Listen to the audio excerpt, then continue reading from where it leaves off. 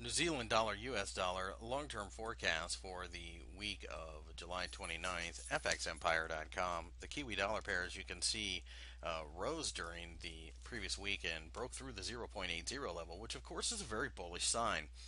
But the concern that we have is that the uh, 0.82 level has been rather resistive uh, recently, but it's also been very supportive. So this is an area that buyers and sellers are attracted to.